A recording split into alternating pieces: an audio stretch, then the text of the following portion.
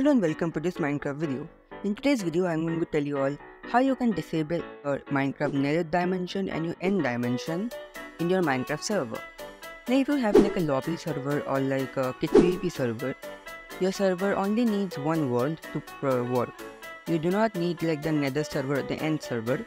Now if you want to disable and remove them completely, this video is for you. Let's begin. First, I'm going to show you, this is my server, this is all of the server files as you can see.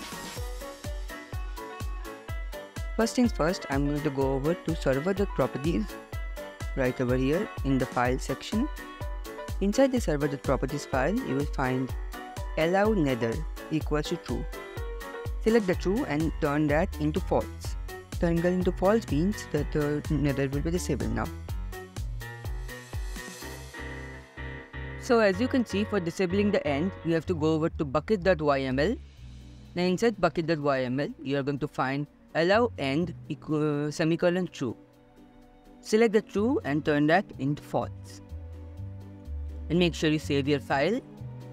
Now head over back to the console. Now in the console, restart your server to apply all the changes.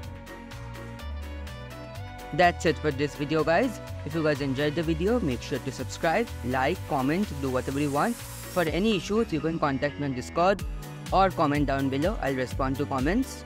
And that's it for this video. Bye.